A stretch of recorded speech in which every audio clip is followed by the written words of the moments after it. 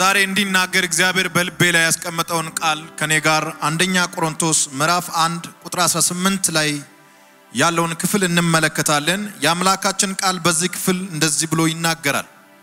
የመስቀሉ ቃል ለሚጠፉት ሞኝነት፣ ለእኛ ለምድን ግን የእግዚአብሔር ኃይል ነውና የጥበበኞችን ጥበብ አጠፋለሁ፣ የአስተዋዮችንም ማስተዋል እጥላለሁ ተብሎ ተጽፏልና።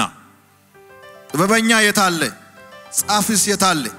የዚች ዓለም መርማሪስ የታለ? እግዚአብሔር የዚችን ዓለም ጥበብ ሞኝነት እንዲሆን አላደረገምን? በእግዚአብሔር ጥበብ ምክንያት ዓለም እግዚአብሔርን በጥበቧ ስላላወቀች በስብከት ሞኝነት የሚያምኑትን ሊያድን የእግዚአብሔር በጎ ፍቃድ ሆኗልና። መቼም አይሁድ ምልክትን ይለምናሉ፣ የግሪክ ሰዎች ጥበብን ይሻሉ።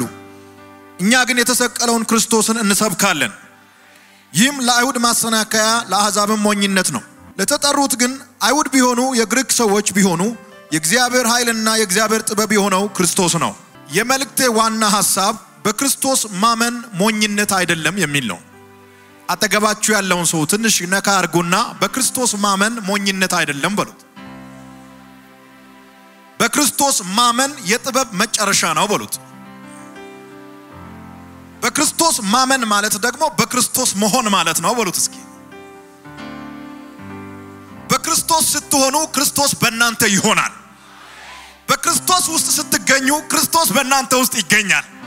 እስኪ አንድ ሰው ጮኸ አሜን ይበል። አጃና ሲያባና ሃሌሉያ። መጽሐፍ ቅዱሳችን ሲናገር እንደዚህ ይላል፣ ከክርስቶስ ጋር በእግዚአብሔር ውስጥ ምን ብላችኋል? ተሰውራችኋል ይላል። በክርስቶስ የሚኖር ሰው ክርስቶስ በእርሱ ውስጥ ይኖራል። ከዚህ ሐሳብ ተነስቼ ብዙ ነጥቦችን ማንሳት ፈልጋለሁ። ደግማችሁ ከኔ ጋር ክርስቶስን ማመን ሞኝነት አይደለም በሉት። ማመንን የዚህ ዓለም ገዦች፣ የዚህ ዓለም ጠቢባኖች መርማሪ ነን የሚሉ ሰዎች እንደ ሞኝነት፣ ጊዜ እንደ ማቃጠል፣ እንደ ጅልነት ያያሉ። ለእኛ ግን የእግዚአብሔር ኃይልና የእግዚአብሔር ጥበብ ነው። አሜን ነው ወይ? እሱ ብቻ አይደለም። church መጥተን ሁል ጊዜ እግዚአብሔርን ስናመልክ የክርስቶስን ስም ስንጠራ ሁል ጊዜ በእግዚአብሔር ፊት እንደ ሕፃን ልጅ ስናመልክ በእግዚአብሔር ፊት ስንወድቅና ስንነሳ የሞተው ኢየሱስ ያድናል ብለን ስንናገር ሰዎች እንደ ሞኞች እንደ ቂሎች ያዩናል። ነገር ግን መጽሐፍ ቅዱስ እንደዚህ ይላል፣ የሞተው ኢየሱስ ከሞት የተነሳው ኢየሱስ እሱ የእኛ ጌታና ገዢ ነው። እሱ የእኛ አምላክና ንጉሥ ነው። በእርሱ ለሚያምን የዘላለም ሕይወት ይኖራል። ሕይወት፣ እውነት፣ በእርሱ ይገኛል። ከእግዚአብሔር የተቀበልነው ትልቁ ስጦታ ማን ነው? ኢየሱስ ነው። እግዚአብሔር አብ ልጁን ኢየሱስን ሰጥቶናል። ከእግዚአብሔር ይህንን ውድ ስጦታ ተቀብለናል። ኢየሱስን የተቀበላችሁ ሰዎች አላችሁ አላችሁ።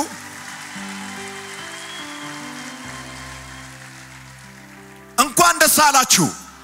አጠገብ ያለውን ሰው ነካ አድርገውና ኢየሱስን ስላገኘህ እንኳን ደስ አለ በሉት። እግዚአብሔር የሰጠን ስጦታ ኢየሱስ ሲሆን ከኢየሱስ ያገኘነው ደግሞ ሌላ ስጦታ አለ። ጽድቅ፣ ቤዛነት፣ ቅድስና፣ ሌሎች መንፈሳዊ በረከቶችን ከኢየሱስ አግኝተናል። አሜን ነው ወይ? ሰው ከኢየሱስ ውጪ ጽድቅን፣ ቅድስናን፣ ቤዛነትን፣ የዘላለምን ሕይወት ማግኘት አይችልም። ብትሄድ መንገድ የለም ይላል system ኡ። ልትሞክር ትችላለህ። እንትና በሚባል ሰው በኩል ልትሄድ ትችላለህ። ከመላእክቶች በአንዱ በኩል ብትሄድ system ኡ አይለቅም። ኢየሱስ እንደዚህ ያለ ሕይወት መንገድ ማን ነኝ? እኔ ነኝ አለ። እኔ ነኝ ካለ በኋላ ካልተመቻችሁ B C D በዚህ በኩል ሕይወት እውነት መንገድ አለ ብሎ አላስቀመጠም። ሁለተኛው ደግሞ ከሰማይ በታች ከምድር በላይ እንድንበት ዘንድ የተሰጠ ስንት ስም አለ? አንድ ስም አለ። ማን ይባላል? ኢየሱስ ይባላል። አሜን ነው ወይ? አሜን ነው ወይ? ዛሬ የሚናገረው የመስቀሉ ቃል ነው። ከኔ ጋር ጮኻችሁ የመስቀሉ ቃል ያድናል በሉት። የመስቀሉ ቃል ይታደጋል በሉት። የመስቀሉ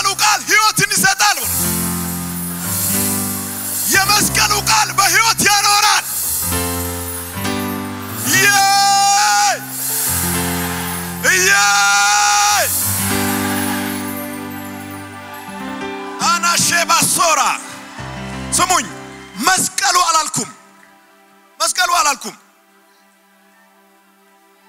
መስቀሉ አልሞተም፣ መስቀሉ አልተሰቀለም፣ መስቀሉ አልደማም፣ መስቀሉ አልተነሳም ከሞት መስቀሉ ወደ ሰማይ አልሄደም። ወደ ሰማይ የሄደው ከሞት የተነሳው ኢየሱስ ነው። እስኪ አንድ የሚያምን ሰው ጮሆ አሜን ይበል። መስቀሉ በምስማር አልተወጋም።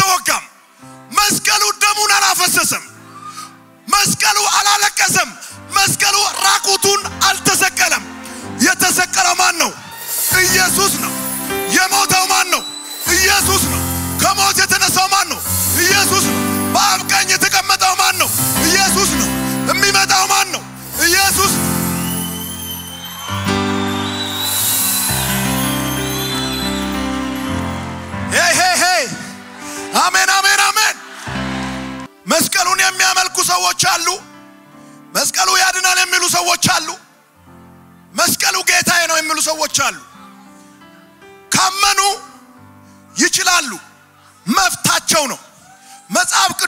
እንደዚህ ይላል፣ የመስቀሉ ቃል ነው የሚለው። መስቀሉ አይልም፣ የመስቀሉ ቃል። ስሙኝ፣ መስቀል ማለት ወንጀለኞች የሚሰቀሉበት በአጭር ቃል መጽሐፍ ቅዱስ የሚናገረው ኢየሱስ እንደ ወንጀለኛ ስለተቆጠረ ነው በመስቀል ላይ የተሰቀለው። የመስቀሉ ስራ ወንጀለኞቹን መስቀል ነው። መስቀሉ አልሞተም። መስቀሉ አልተወጋም። የመስቀሉ ቃል ግን በእግዚአብሔር ቀኝ ለዘላለም አለ። አሻዛ ባኮንተ እስኪ አንድ ሰው ጮሆ አሜን ይበል። አጠገብ ያለውን ሰው ገፋ አድርገውና የመስቀሉ ቃል ያድናል ብሎ የመስቀሉ ቃል ማን ነው? ኢየሱስ ነው። የመስቀሉ ቃል ከእግዚአብሔር ዘንድ የመጣው ሕይወትና እውነት መንገድ የሆነው ኢየሱስ ነው። የመስቀሉ ቃል ሙሴ አይደለም። የመስቀሉ ቃል ኤልያስ፣ ኤልሳ አይደሉም። የመስቀሉ ቃል ከነቢያት አንዱ አይደለም። የመስቀሉ ቃል ጴጥሮስ አይደለም። የመስቀሉ ቃል ጳጳስ አይደለም። የመስቀሉ ቃል ፓስተር አይደለም። የመስቀሉ ቃል ሼክ አይደለም። የመስቀሉ ቃል ቄስ አይደለም። የመስቀሉ ቃል ኢየሱስ ነው። ሰማይ ምድር ይስማ፣ የመስቀሉ ቃል ኢየሱስ ነው። እስኪ አንድ ሰው ጮሆ የመስቀሉ ቃል ኢየሱስ ነው ይበል። ጆሮ ያለው ይስማ፣ የመስቀሉ ቃል ኢየሱስ ነው።!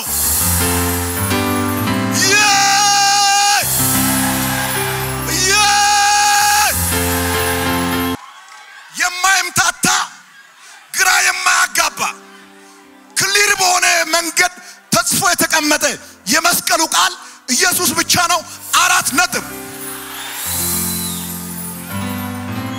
ሄማሻንታ ካዳቦሴ ለምንድን ነው ይህንን የምሰብከው ካላችሁኝ፣ ጥበብን የሚሹ አሉ፣ እነሱ ጥበብን ይፈልጉ። ዘራቸውን ዝናቸውን የሚናገሩ አሉ፣ እነሱ ዘራቸውና ዝናቸውን ይስበኩ። እኛ ግን የተሰቀለውን ክርስቶስን እንሰብካለን። እኛ ግን የሞተውን ኢየሱስን እንሰብካለን። እኛ ግን ከሞት የተነሳው ኢየሱስን እንሰብከዋለን። እስኪ አንድ ሰው ጮሆ አሜን አሜን አሜን።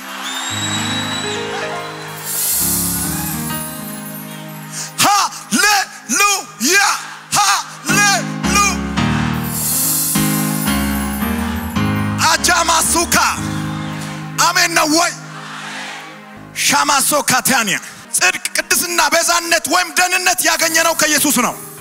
ሮሜ 3 24 ኤፌሶን 1 6 እስከ 8 ቆላስያስ 1 14 ትክክለኛው በረከት ኢየሱስን ማግኘት ነው። በሌላ ቋንቋ የአማኞች ትክክለኛው በረከት በኢየሱስ መሆን ነው።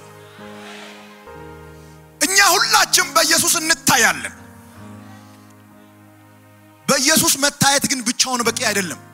ኢየሱስ በእኛ መታየት አለበት።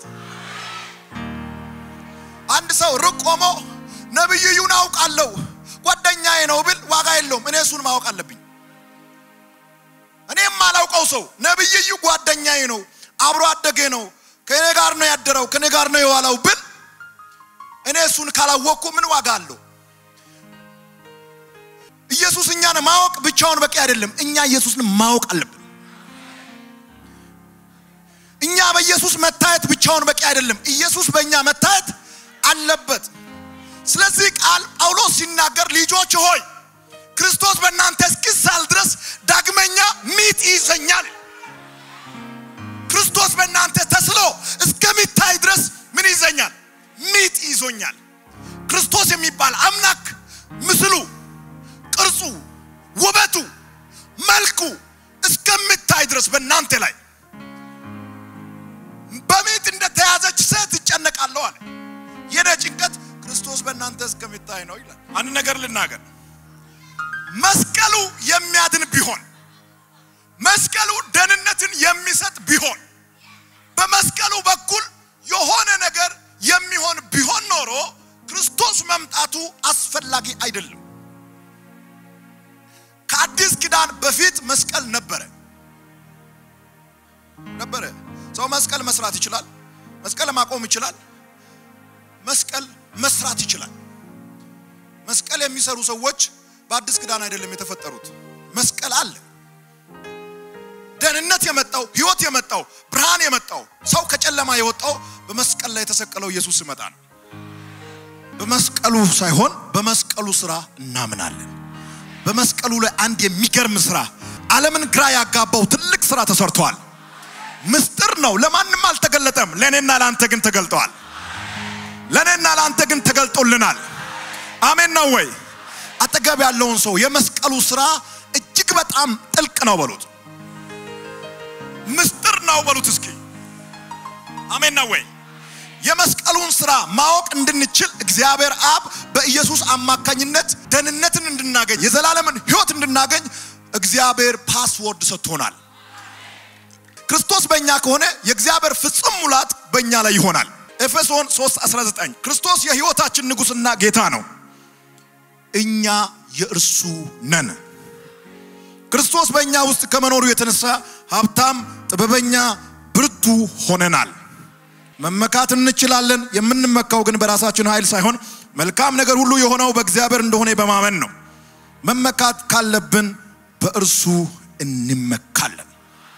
ገላትያ 6 14 የመስቀሉ ቃል ፖለቲካ ፈርተን የሃይማኖት ምናምን ፈርተን የሆነ ትልቅ ሰው ፈርተን የምንደብቀው ጉዳይ አይደለም። ህይወት ጉዳይ ነው። ማንንም የምንፈራው ሰው የለም። ህይወት ኢየሱስ ነው። ሌላ አዳኝ የለም። አንዱ አለ፣ ስሙ ኢየሱስ ይባላል። ክርስቶስ ያድናል ብሎ ከመናገር የሚበልጥ ስብከት የለም። ሰው የፈለገውን መስበክ ይችላል። እኛ ግን የታዘዝነው የተሰቀለውን እንድንሰብክ ነው። ክርስቶስ በመስቀል ላይ ተሰቅሎ ሞተ የሚለው ቃል ለዚህ ዓለም ጠቢባኖች እጅግ በጣም ሞኝነት ነው። ክርስቶስ በመስቀል ላይ ተሰቅሎ ሞተ የሚለው ቃል መርማሪ ነን፣ ጠቢባን ነን፣ እውቀት አለን ለሚሉ ሰዎች እጅግ በጣም ሞኝነት ነው። ምክንያቱም የእግዚአብሔር ልጅ የዓለም አዳኝ የሆነ ጌታ እንደ አንድ ተራ ወንጀለኛ በእንጨት ላይ ተሰቅሎ ይሞታል ብሎ ማሰብ ዘበት ነው። እኛ እኮ የምናመልከው አምላክ እንደ ወንጀለኛ የተሰቀለውን ነው። ለሰዎች አልተገለጠም። ሰው ማንን ታመልካለህ ብሎ ሲጠይቅ ኢየሱስን ነው ስንል ይስቃሉ። እሱ እኮ ተራ ሰው ነው፣ ሰዎች እንደፈለጉ አድርጎ የገደሉት ለዛውም ደግሞ የሞት ፍርድ ይገባል ተብሎ በሸንጎ ፊት የሞትን ፍርድ የተቀበለውን እንዴት የራሴ አምላክ ታደርገዋለህ ይሉናል ሰዎች። ለእኔ ግን አምላኬ ነው። ለእኔ ግን ህይወቴ ነው። ቤቴ ላይ ራስ የሆነው እሱ ነው። የህይወቴ ጌታ ኢየሱስ ነው። እስኪ አጠገብ ያለውን ሰው ኢየሱስ የህይወት ጌታ ነው ብሎ የመስቀሉ ቃል ለሚጠፉት ምንድን ነው? ሞኝነት ነው። የሚጠፉት የተባሉት የማያምኑ ናቸው። በክርስቶስ የማያምን በመስቀሉ ቃል የማያምን ሁሉ ይጠፋል። ይሄ በመጽሐፍ ቅዱስ ላይ የተቀመጠ እውነት ነው። የተኛውን ፍርድ ቤት ሄደ ልታስቀይረው አትችልም። ይግባኝ የለም። በመስቀሉ ቃል የማያምን ሁሉ ምን ይላል? ይጠፋል። ልናሻሽለው የማንችለው እውነት ነው። በመስቀሉ ቃል የሚያምኑት ሁሉ ግን ለዘላለም ይኖራሉ። የክርስቶስ ዘር በእነሱ ውስጥ ስለሚኖር አጠገብ ያለውን ሰው በመስቀሉ ቃል ስላመንክ አንተ ለዘላለም ትኖራለህ በሉት። ከሞት በኋላ ህይወት ተሰጥቶሃል በሉት። እግዚአብሔር ከኢየሱስ ጋር ህይወትን ሰጥቶሃል። እንኳን ደስ ያለ በሉት። ሃሌሉያ ሃሌሉያ! ክብር ይገባል ለጌታ።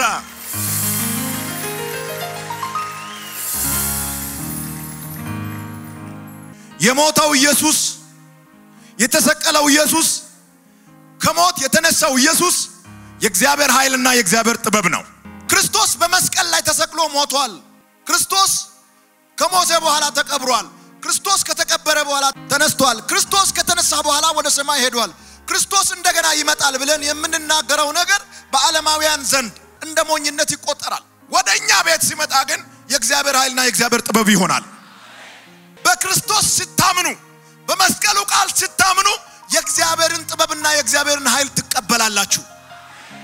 አጠገብ ያለውን ሰው የእግዚአብሔር ኃይልና የእግዚአብሔር ጥበብ አንተ ውስጥ አለ በሉት።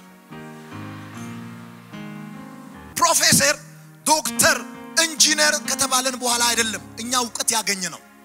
ገና ከእጅ ላይ የተማረን እውቀት አለ እኛ ውስጥ።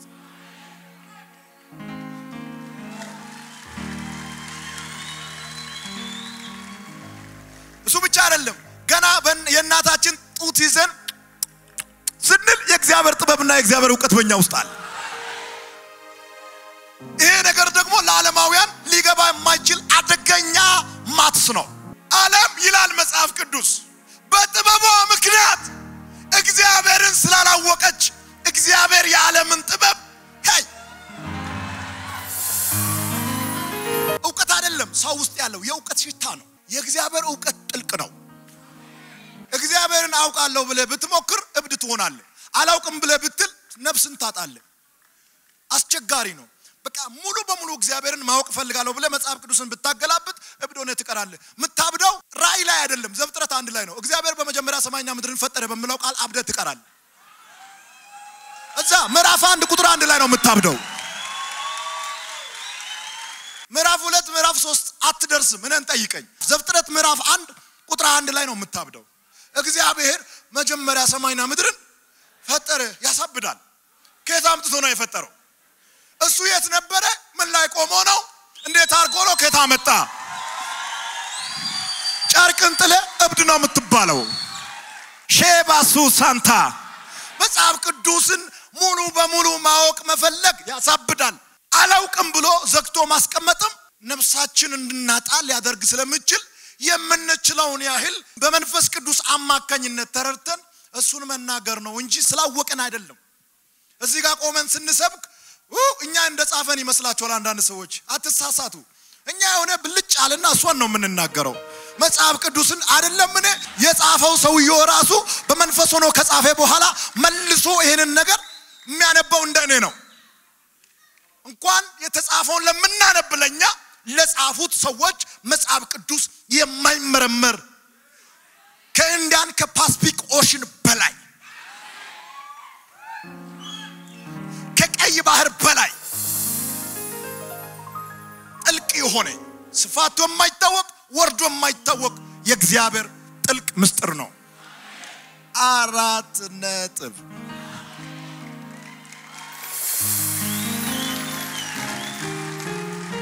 ቅዱስን ስታነቡ በመንፈስ ቅዱስ ሆናችሁ በተወሰነ መልኩ ጌታዊ አስረዳኝ ብላችሁ ነው እንጂ የተኛውም ቴዎሎጂ ኮሌጅ አውቃለሁ ብሎ ሊያስተምር አይችልም። የእግዚአብሔር መንፈስ ብቻ ነው የሚመረምረው። ለሱ ክብርና ምስጋና ይገባዋል። ሃሌሉያ። አዳዳማ ሲንታራቦ አጠገብ ያለውን ሰው ክርስቶስ የማይመረመር ምስጢር ነው በሉት። ጥበበኞች ሁል ጊዜ የመስቀሉን ቃል ይቃወማሉ። ነገር ግን እግዚአብሔር አስቀድሞ በትንቢተ ኢሳያስ ምዕራፍ 29 ቁጥር 14 ላይ የጥበበኞቹን ጥበብ እንደሚያጠፋ የአስተዋዮቹን ማስተዋል እንደሚሰውር በሚገርም ሁኔታ ተናግረዋል። የጥበበኞቹን ጥበብ አጠፋለሁ፣ የአስተዋዮቹን ማስተዋል ምን አደርጋለሁ? እሰውራለሁ ሰው ብዙ ነገር በዚህ ምድር የሚያስደንቁ ነገሮችን ሰርተዋል። አውሮፕላን ያስገርማል፣ ስልክ ያስገርማል፣ መብራት ያስገርማል፣ መኪና ያስገርማል፣ ጦር መሳሪያ ያስገርማል። ሌላ ብዙ የሚያስገርሙ ነገሮች አሉ። ቆጥሬ መጨረስ አልችልም። እነዚያን ሁሉ የሰሩት እግዚአብሔር በሰጠው በትንሿ እውቀት ነው። ጭንቅላት ውስጥ እኛ የማናውቀው memory አለ። የሚያድግ ካደገ በኋላ ደግሞ የሚቀንስ memory ብዬ ነው እኔ በራሴ የማስበው። ምክንያቱም አሁን ህፃናት ውስጥ ሁለት ዓመት ሶስት ዓመት ህፃን ብርጭቆ ይሰብራል፣ ቴሌቪዥን ይሰብራል፣ እናቱን አባቱን በሆነ ነገር ይቀውራል፣ መኪና ላይ እሳት ይጥላል፣ ቤቱን ያቃጥላል፣ ራሱ ይወድቃል። memory ው ገና አላደገም አላደ ቀስ ብሎ እያደገ ስድስት ዓመት ሰባት አስር ዓመት እያለ memory ው እያደገ ሲመጣ ሰው ይሆናል። ብርጭቆ አይሰብርም፣ አባቱ እናቱ ላይ ግራ አያነሳም፣ መኪና አያቃጥልም፣ መኪና መሆኑን ያውቃል። በጣም ካደገ በኋላ ደግሞ ወደ ጠዋቱ ይመለሳል። memory ው ይነሳል፣ fade ያደርጋል። በጣም ሰው ሲያረጅ ማለት ነው ጭቃ ይጫወታል አይደል? እኛ እዛ እድሜ ላይ ደርሰንም ጭቃ አንጫወትም። እኛ እኛ ነን በቃ ሼባ ሶን ሳዳ ባንታ እያልን ሊሳን እያወራን ወደምንወደው ጌታ እንሄዳለን። ወይ እሱ ይመጣል ወይ እኛ እንሄዳለን። አሜን ለሆነው አሜን ይባላል። እንደገናም በመዝሙረኛው ዳዊት ምዕራፍ 33 ቁጥር 10 ላይ የሰው ጥበብ እንደማይጸናና የእግዚአብሔር ሐሳብ ለዘላለም እንደሚኖር ይናገራል። ከእግዚአብሔር በቀር አንድም ጥበበኛ የለም። ጥበብ ሁሉ የእግዚአብሔር ነው። ጥበበኛ ነን የሚሉት ቢሆን እንኳን የራሳቸው የሆነ ጥበብ የላቸውም። እግዚአብሔር በፈጠረው ጭንቅላት ነው የሚፈላሰፉት። የሰው ጥበብ የተገደበ ነው። ያ ባይሆን ኖሮ በምድር ለሚፈጠሩ ችግሮች ሁሉ መፍትሄ ያበጁ ነበር። የእግዚአብሔር ጥበብ ገደብ የለውም። የእግዚአብሔር ጥበብ ዘላለማዊ ነው። እስኪ የእግዚአብሔር ጥበብ እኔ ውስጥ አለ በሉት። ለእኛ በመስቀሉ ቃል ላመኑት ሁሉ የእግዚአብሔር ጥበብና የእግዚአብሔር ኃይል የሆነው ክርስቶስ ተሰጥቶናል። ልቅና ተመራማሪ የሆኑ ሰዎች መጽሐፍ ቅዱስን ያነባሉ፣ ነገር ግን አይቀበሉም። እግዚአብሔር ግን ልጁን ወደዚህ ዓለም በመላክ የዚህ ዓለም ጥበብ ሞኝ አደረገው። እግዚአብሔር ኢየሱስን በመላክ የዓለምን ጥበብ ምን አደረገ? ዜሮ አደረገ። ጥበብ የለም። ጥበብና ኃይል የእግዚአብሔር ነው። አንድ የሚገርም ነገር ልንገራችሁ። እግዚአብሔር አምላክ ለዓለም ሕዝቦች ሁሉ ደህንነትን ያዘጋጀው በዚህ በተናቀው በመስቀሉ ቃል በኩል ነው። ሰዎች በሚንቁት በማይቀበሉት በኢየሱስ በኩል የዘላለም ሕይወት እንዲኖር አደረገ። አራት ነጥብ ነው ያደረገው። አንዳንድ ጊዜ የማንወደውን ምግብ ራብ ያበላናል አይደል? አልወደውም የምትለውን ምግብ ሶስት ቀን ሳትበላ ብትውል እንደ ፊዛ ወደ ትበላዋል። በጣም ይገርም ነው እያልክ ነው የምትበላው። ሶስት ቀን ሳትበላ ምግብ በሌለበት ምድረ በዳ ላይ ብትሆን፣ አሁንማ ቦሌ ውስጥ ሆነ አልወድም ብትል ምን ይገርማል? የፈለከውን መርጠህ በምትበላበት ከተማ ውስጥ ሆነ እንትን አልወድም እንትን ወዳለሁ ብትል ብታማርጥ ምንድን ነው የሚያስገርመው? ምድረ በዳ ሄደ ውሃ በሌለበት እንጨት እሳት በሌለበት ሰው በሌለበት ምጣድ ድስት በሌለበት ቦታ ላይ ሆነ እስኪ አልወድም በል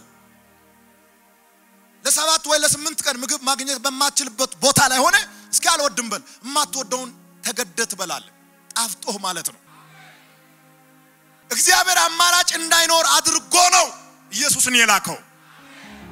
ማንም የመጣ ሰው በኢየሱስ በኩል ወደ እግዚአብሔር እንዲሄድ እግዚአብሔር አንድ መንገድ ብቻ ነው የሰራው።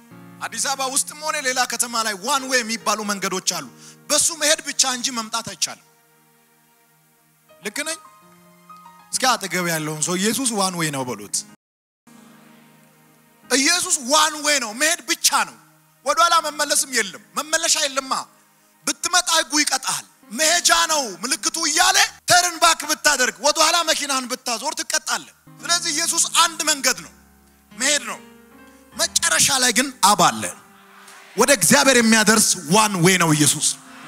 ለሱ ክብር ይገባል።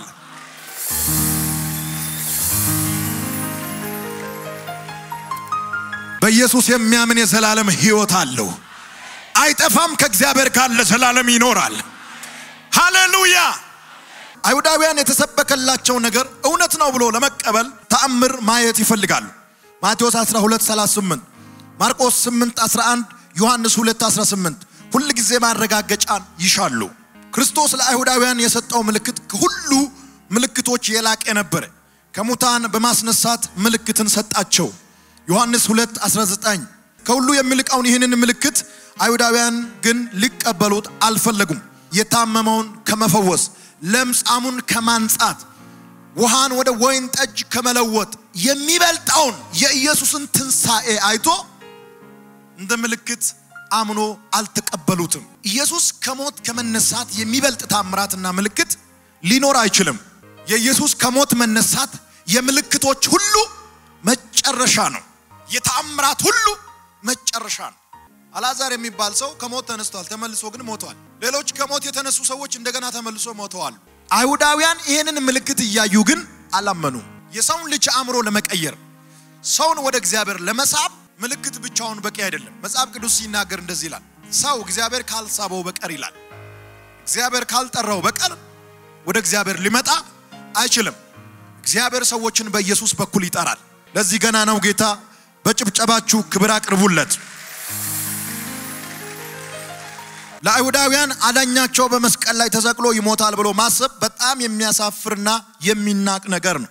ከዚህ የተነሳ ክርስቶስ በመስቀል ላይ ተሰቅሎ ሳለ ያላግጡበትና ይሳልቁበት ነበር። ማቴዎስ 27 41 እስከ 42፣ ማርቆስ 15 31 እስከ 32 ድረስ ማየት ይቻላል።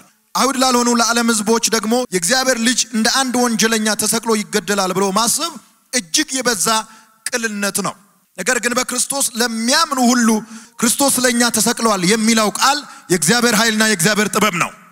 አማኞች ሲባል በእግዚአብሔር የተጠሩ ማለት ነው። አማኞች ሲባል የሆነ የቸርች አባል የሆኑ ሰዎች ማለት አይደለም። በእግዚአብሔር የተጠሩ በእግዚአብሔር የተጠራችሁ እናንተ ናችሁ። አጠገብ ያለውን ሰው እግዚአብሔር ስለጠራ እንኳን ደስ ያለ በሉት። እኔ በእግዚአብሔር ተጠርቻለሁ በሉት። እስኪ የእግዚአብሔር ልጅ ሆኛለሁ። ሃሌሉያ ሃሌሉያ። የእግዚአብሔር ጥሪ ለተቀበሉ የተሰቀለው ኢየሱስ የደካማነት የውርደት ወይም የሞኝነት ምልክት አይደለም። ይልቁንስ የእግዚአብሔር ኃይልና የእግዚአብሔር ጥበብ ምልክት ነው። ኃይል፣ ስልጣን ሁሉ በክርስቶስ እጅ ነው። ሮሜ 1 16 ከዚህ ጥበብ እና ኃይል የተነሳ አማኞች በሙሉ ኃጢአትን ድል ይነሳሉ፣ በአዲስ ሕይወት ይመላለሳሉ፣ ደህንነትን ለማግኘት የሚያስችለውን መንገድ ይከተላሉ፣ እግዚአብሔርን የማወቅ ምስጢርን ያገኛሉ። ከማን የተነሳ? ከእግዚአብሔር የተነሳ። ሞት የሰው ልጅ ደካማ እንደሆነ የሚናገር የመጨረሻ ምልክት ነው። ሰው የሚሞተው ደካማ ስለሆነ ነው። በሰማይ የበረረ በምድር የሮጠ የተማረ ያልተማረ ሁሉ መጨረሻ ላይ የሚገደበው ሞት በሚባል border ላይ ነው። ሞት የሚባል ኬላ ላይ ሲደርስ ሁሉም ጸጥ ነው የሚለው። ከዛ በኋላ የለም ይግባኝ የለም። ብዙ ነገሮች ይግባኙዋሉ። ይሄ ቢከለክል ያኛውን ተጠቅሞ ያልፋሉ። ሞት የሚባለው ነገር ግን ሰውን ሁሉ ደካማ ያደርገዋል። ሞት ጋር ደርሶ ብርቱ ነኝ የሚል ሰው የለም። ና እንገናኝ የሚል የለም። ሞት ጋር ስትደርስ እጅና እግርን አስተካክለህ ነው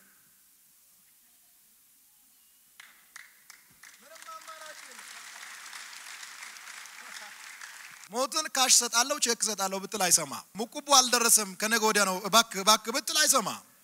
መኪና ቁልፍሽ ለእንትና ቆይ ቆይ ብትል አይሰማ። ክርስቶስ ግን ሞትን አሸንፏል። ሰውን ሁሉ ያሸነፈውን ሞት ኢየሱስ ምን አድርጎታል? አሸንፏል። ሃሌሉያ! ሞትን ላሸነፈው ጌታ ጩኸት ይገባዋል። ሃሌሉያ!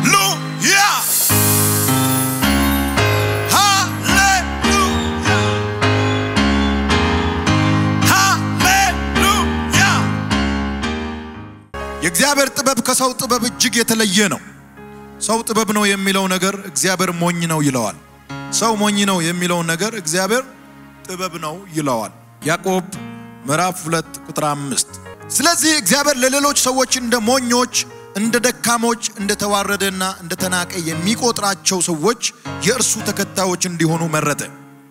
ሞኞች፣ ደካሞች፣ የተዋረደና የተናቀ ከንቱ የተባለ በእርሱ የምናምን እኛ ነን። እግዚአብሔር የዓለምን ጠቢባኖችን ለማሳፈር ሞኝ የሆኑትን መረጠ። የዓለምን እውቀት ለማጥፋት እውቀት የሌላቸውን መረጠ። የዓለም ሀያላንን ለማሳፈር ሀያል ያልሆኑትን መረጠ ብለን ስንናገር እንትናን እንትናን ብለን መቁጠር የለብንም። እኛንን እነሱን ክርስቶስ የራሱ ተከታዮች እንዲሆኑ አደረገ።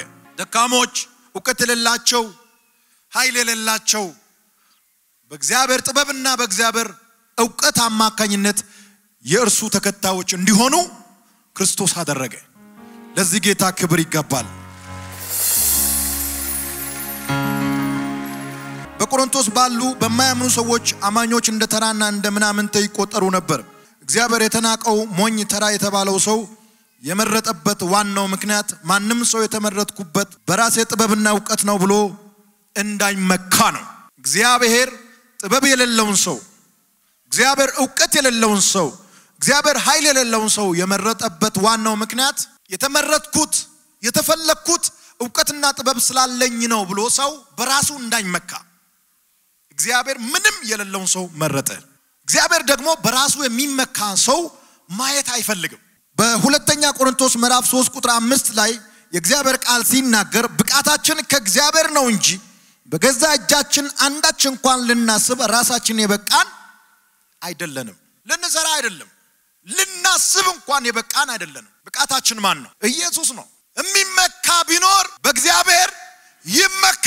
ከእግዚአብሔር ሌላ የሚያስመካ ነገር የለም። ቤት፣ መኪና፣ ሀብት፣ እውቀት፣ ደረጃ፣ ስልጣንና ዝና አያስመካም። ዛሬ አለ የተባለ ነገ ይጠፋል። ዛሬ የወጣ ነገ ይወርዳል። ዛሬ የወረደ ነገ ይወጣል። ዛሬ የቆመ ነገ ይወድቃል። ዛሬ የወደቀ ነገ ይነሳል። ቋሚ ነገር የለም። አንድ መልክ ይዞ የሚቀጥል ነገር በዚህ ምድር ላይ የለም። መውጣት አለ፣ መውረድ አለ፣ መውደቅ አለ፣ መነሳት አለ፣ ማልቀስ አለ፣ መሳቅ አለ፣ መራብ አለ፣ መጥገብ አለ፣ መወለድ አለ፣ ማደግ አለ፣ መኖር አለ፣ መሞት አለ። የሚመካ ሁሉ በእግዚአብሔር ይመካ። ብቃታችን ኃይላችን ኢየሱስ ነው። የመስቀሉ ቃል በእኛ ቤት ሞኝነት አይደለም። በኢየሱስ የሚያምን ሰው ሞኝ አይደለም። ለመስቀሉ ቃል ከፍተኛ እልልታ፣ ጭብጨባ ይሁንለት። ሃሌሉያ